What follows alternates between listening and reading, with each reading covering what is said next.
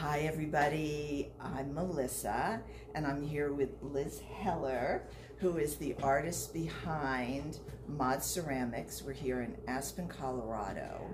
I met her at the farmer's market here in Aspen that happens every Saturday, and I absolutely fell in love with her work.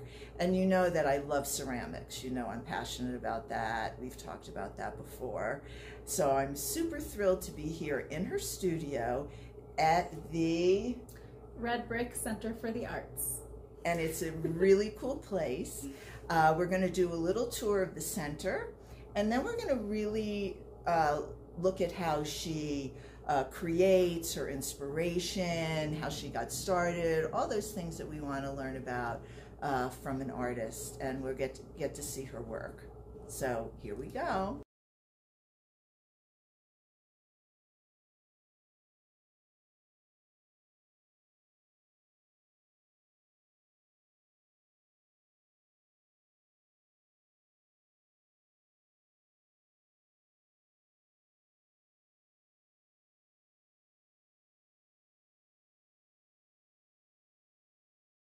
So here we are, Liz Heller in her studio, and we're going to talk all about her process and how she got to live in Aspen, Colorado, doing artwork. Amazing. Anyway, Liz, talk to us about your process, what you're creating, and then a little bit about how you came to start, you know, being a ceramic artist. Okay. I, um, well, I have a degree in sculpture, actually, and um, this was never the plan. To make ceramics in a small mountain town was never the plan. Um, so I started, I learned this process in graduate school. I took a three-week summer workshop um, right as my time in Madison, Wisconsin was ending, and I fell in love with it. Um, there's so much you can do the possibilities are endless with this process. And I think um, that's why I fell in love with it initially. And then um, I did a residency at Anderson Ranch in the fall of 2014. So I graduated. Let me interrupt you for a second. Anderson Ranch is an art school it's a facility internationally renowned art center in Snowmass, which is adjacent to Aspen, and it's an amazing place. If you're ever in the area, you must go see it. It is a fabulous resource for artists and the community. We're so lucky to have it in our tiny little yeah. valley. Mm -hmm, mm -hmm. um, yeah. So I was there for a 10-week artist residency in the fall of 2014. And that's where I, I learned how to 3D model in the computer and 3D print objects. So this one was actually modeled and printed in 2014 uh, at Anderson Ranch. Um, and this is one of my uh, vases. And it started off as a sculpture and then I started making functional work out of this. And then I've been making functional work ever since. Awesome. So I want to just back up a little bit. So what I find really fascinating about her work is that, you know, when we think of clay, we think of, you know, throwing on a wheel or hand building, that kind of a thing. Um, and when you think about molded things, you think about what you find in like Pottery Barn or something like that. But she's added an element to it that is very unique and artistic. Um, so by 3D printing, which in itself is a whole other aspect and you don't normally see artists that can that can blend like a techie thing like 3D printing because you have to do that on a computer and then taking that and then translating that into the ceramic arts I think is really special and unique. And so she's going to talk a little bit more about the process and we're going to see, we won't see the 3D printing part, but we will see the other part of what she does here. So carry on, with this. um, yeah, so the, the 3D printing part is, is probably the most difficult for me. I'm an analog person and I like to get my hands dirty. So it's, it's my, it's kind of like as far as the process goes, it's the necessary evil part of the process. Um, but it's also the best way that I can get what's in my head into a three dimensional object. I mean, it really is, you know, they call it rapid prototyping, and it, that is exactly what it is. Um, so it's a great way to get what's in your head into the computer and then out into the world as a, as a physical object. Um, but I don't love how the physical objects turn out and come out of the printer. Otherwise, it would be so easy to just um, introduce these to the public. Um, and I think ceramic and porcelain, I use porcelain as such a beautiful material. So what I do after I get the print is I'll make a plaster mold of it. Um, so these are some molds right here. And um, I'll actually open this one up so you can see what the interior looks like. Um, so you pour plaster around it, basically. Um, and then you can take the original plastic piece out. Um, and then it creates this. Here, let's see this so they can. I don't know if you could really see all the facets Yeah. um, of that 3D printed vase that she just showed you. Um, yeah, it's a similar design. So it's basically you have the cavity. You're producing the cavity um, of what you're you're going to cast into. So the next part of the process is called slip casting, and it's actually it's an industrial process. It's how Kohler makes your toilets and sinks. Um, and basically, what happens is you pour a liquid clay that we call slip into the mold, and the plaster will drain, it'll drink the water out of the slip and form a shell. So I can actually show you the shell. Very cool. Um, let's see. How do I want to open this? But let me know if I can help you with something. Okay, I think I can. Normally I do this on a flat table, so let's see how that worked. Look at that. So this is how it comes out. That's beautiful. I love that color. Wow. And you can control the thickness by the time you Mhm. leave the the slip in the mold, which is a nice variable. So we got to see the finished product, well, almost finished product of the of her mold, but now we're going to watch Liz actually pour the mold. Okay. And this is the slip that she was talking about that she uses that is a special kind of a slip, right? It is. It's um, a lot of people will ask me if they can just mix water in with regular bagged clay, and the answer to that is no.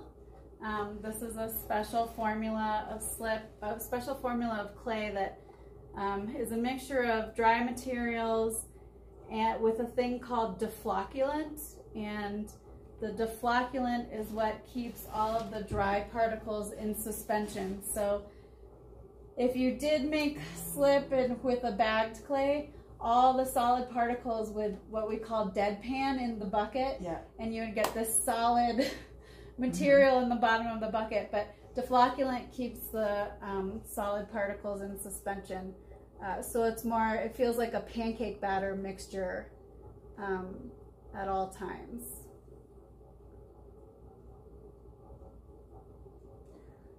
A minute. Oops. See, almost, almost ran over.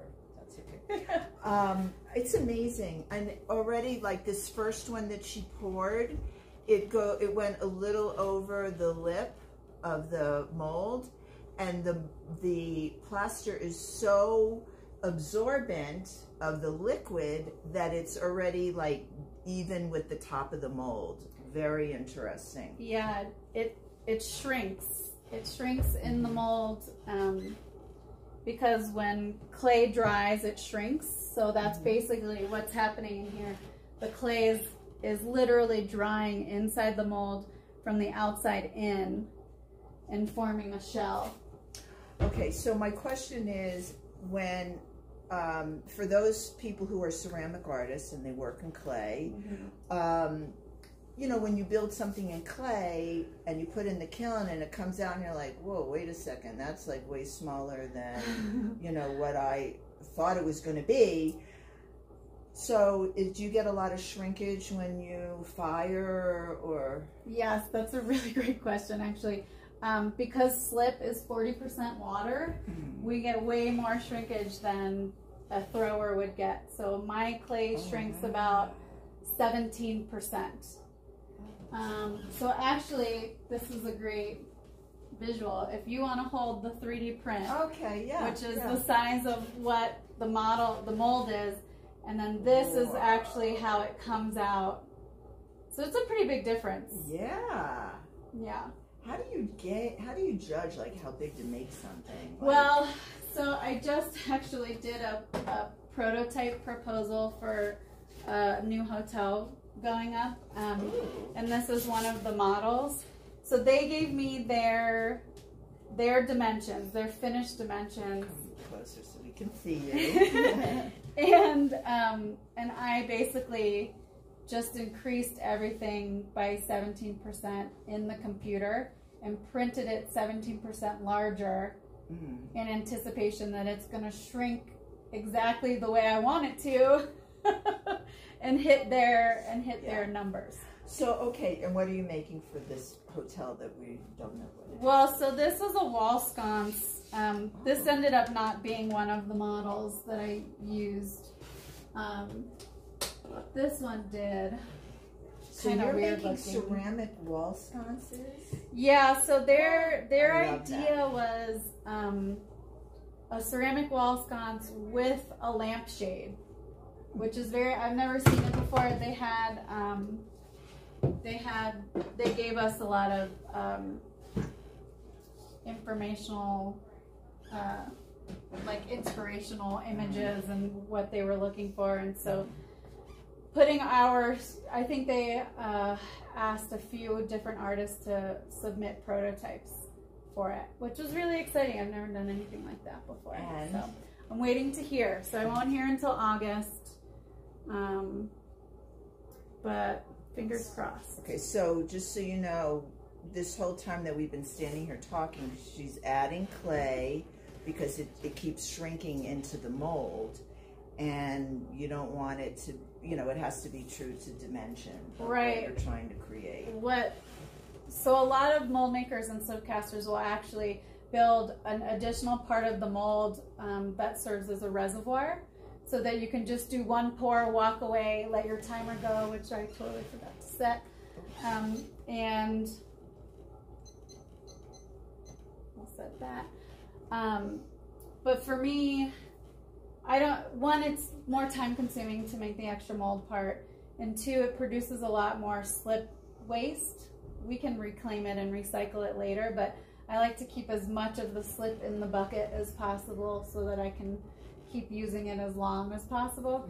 Um, so i don't use reservoirs so i do have to keep topping off my molds because it does shrink from the outside in and goes lower and the danger of not topping off is that you'll have the top of your piece will be thinner than the rest of your piece and that could result in warping and cracking and so that could be a, a, a structural issue Mhm, mhm, Okay, interesting. And how long? I mean, how do you know how long to leave it in the mold? That's also a really good question. Um, so you kind of have to see. It really it depends on the type of slip you're using. It depends on how dry your plaster is. It depends on how thick your plaster is. Um, so for my bigger pieces, like pieces like this big, um, I'll leave in there for 30 minutes. Mhm. Um, for something like this, which is a functional bowl that I know she's going to be eating her breakfast out of, I'll cast it for 20 minutes because I want it to be, I don't want it to be really thin and fragile. I want it to be substantial. Um, for these pieces, I typically do something like this, maybe 20, 25 minutes. This is going to be a two color um, casting, so it's time to pour this out actually. Um, And then for a cup, like these, probably more like a 12 minute. Um, my slip actually casts really fast Mm. because the the part the ingredients I use they have larger particle sizes, and so it um, casts faster in the mold than um, some other slips that I've used. Do you make your own slips? I do. Okay. I do. I'm really lucky that I can. Um, I teach at a community college here, and they have a nice uh, 30 gallon slip mixer that I can use. And then um, I'm just gonna turn this over. Okay, we're gonna watch her do this, pouring it.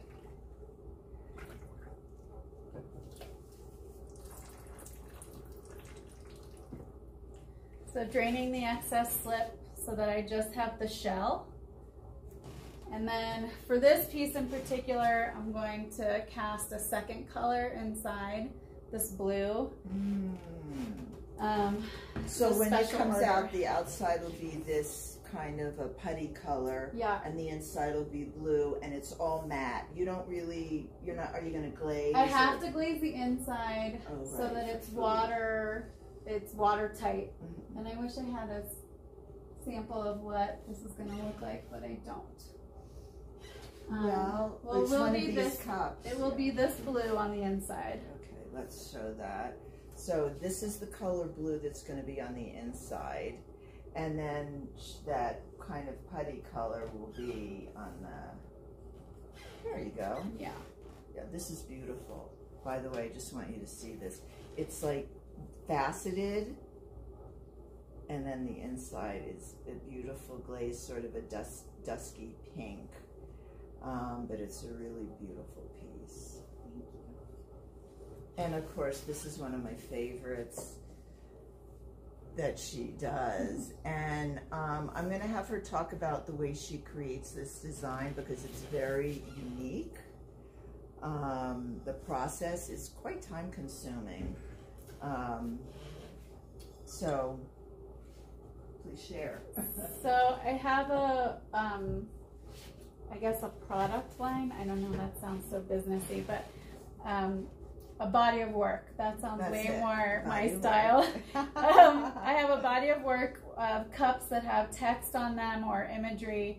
Um, and the way I make those is first I will laser etch the design in a piece of wood, and then I'll roll out a slab, push the slab into the design on the wood, and then wrap it around a cylinder and make a mold of it that way. Um, and then that makes makes it so that the text is actually a positive um, on the cup, but a negative in the mold. So I can do things like add color into the mold just where the, the design or the text is, um, and then pour a different color into the mold after the color color for the text is added. Um, I'm going to show one. and get a lot of different variety of, of color and texture in one piece. So kind of like that. This is sort of 3D, those numbers that you see uh, is 3D, but this is all cast in one piece. Correct. All right. And FYI, this girl over here is a triathlete. Can you believe it? So she does a lot of work that is geared towards, you know, a- triathletes and, you know, athletic type people. So. anyway, so let me um, ask you. All right, are you going? to I don't want to mess up your time. so this one's got about 12 minutes left. This one I should check and see where we're at. I think I still want, Okay. maybe when that goes. So let's 10. wait and let's shift gears here a little bit because I want to learn a little bit more about you. So, just so you know, we're both. I can't believe it. She's from. She grew up in Miami, and of course, I live in Miami, and that's where I'm from. And she grew up in Miami. It's like so crazy, Crazy. but and it's an amazing coincidence. So, uh, so you, how did you like? How did art happen for you? Um, well, it was not, it was not an obvious choice for me. So I went to college in Memphis and I actually got a business degree.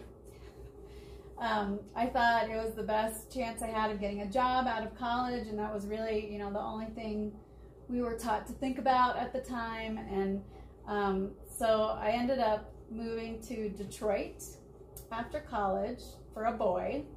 We always don't we do that, girls. Always. I've done that before. Um, you know, those kinds of decisions you make when you're 21 and you would never make again in your life.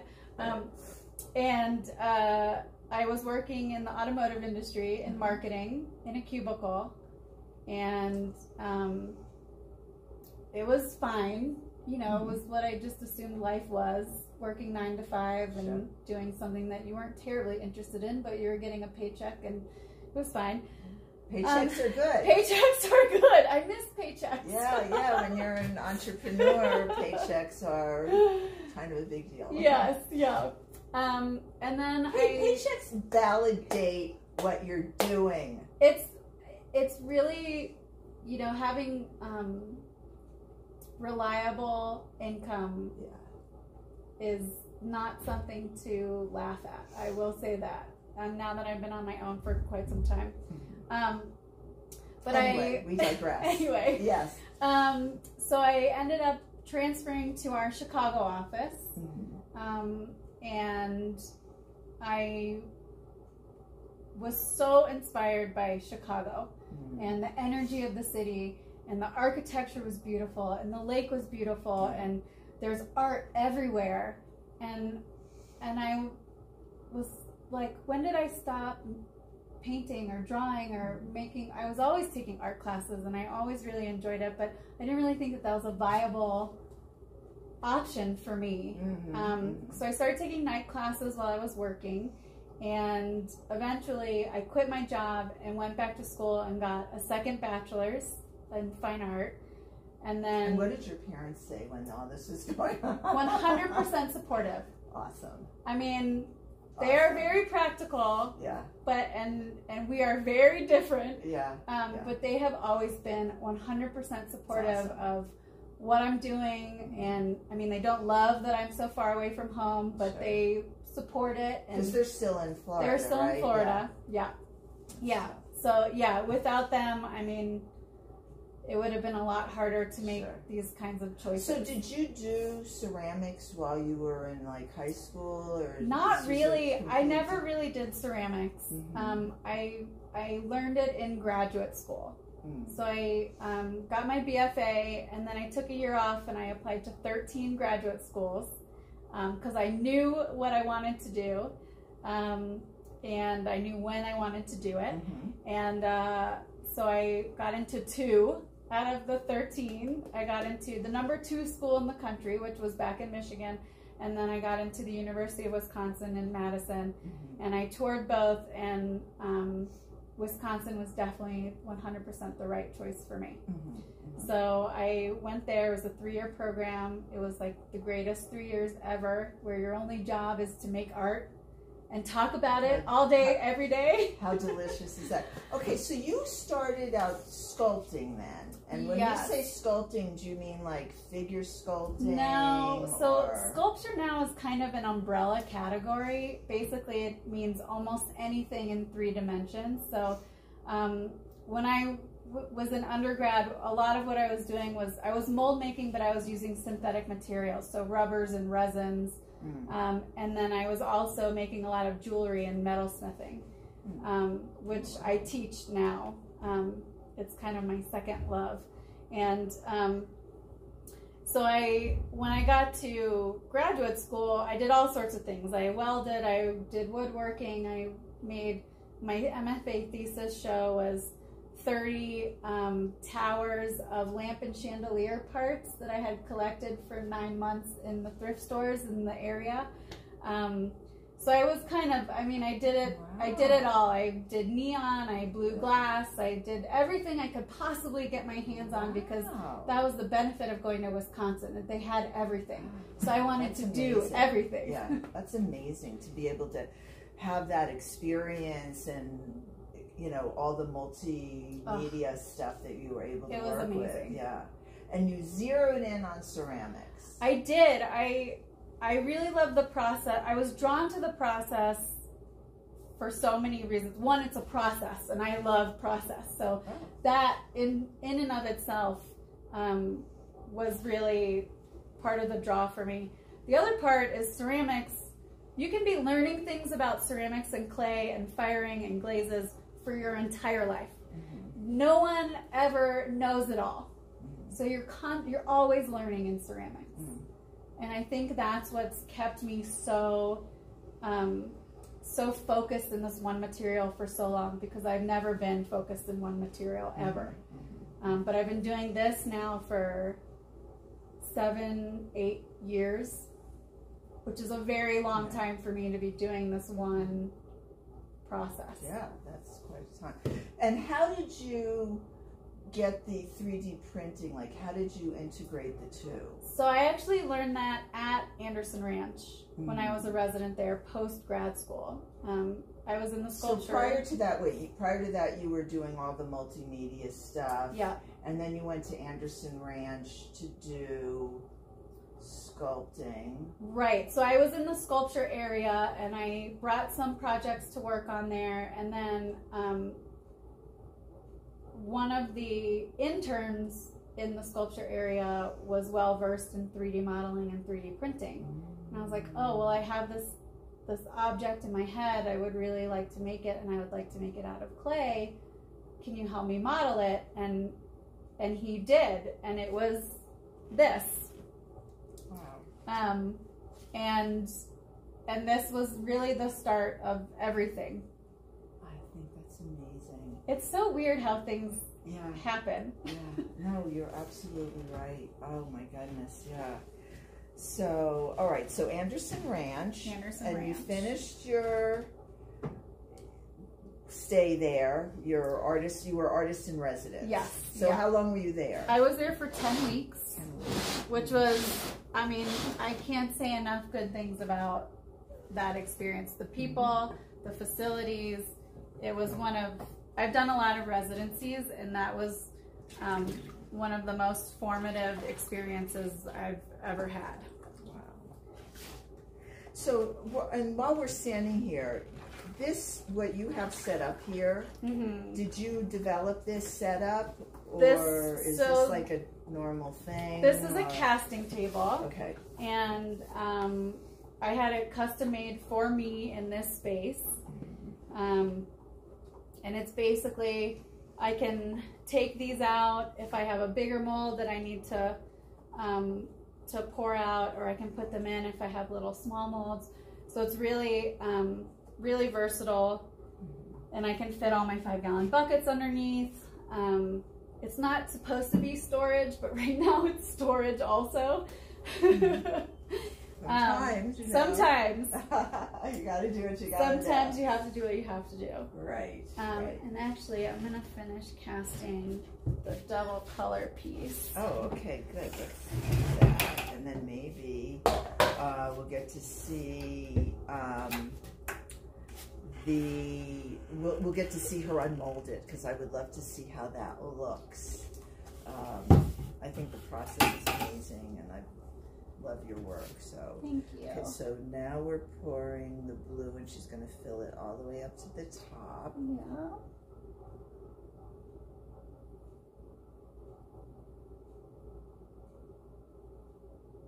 Here we go. Very cool.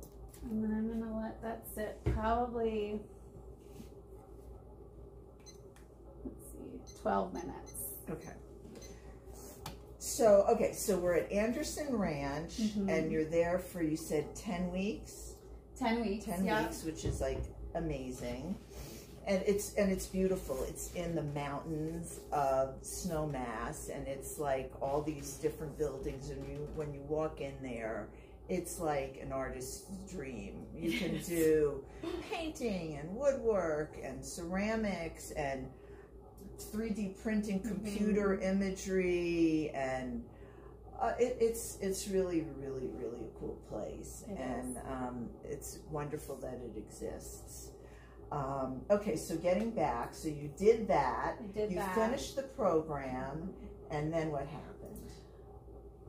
Um, you're not gonna expect this. Um, then I moved back to Chicago, Uh huh. and I was married at the time, and we split. And then I got hit by a car. It was in a really bad accident. um, and actually stayed with my parents in Miami for a few months, uh, recovering. Um, and then I had an opportunity in this valley, um, down in Carbondale, Mhm. actually, um, to be a resident at their clay center. And so I, I moved here. I, as soon as I was able to, I moved here and started that residency.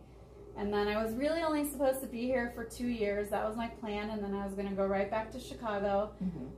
And then I've just, I've been here for seven years and I love it. And I don't see myself ever going back to big city living. And Yeah. it's just such a magical place.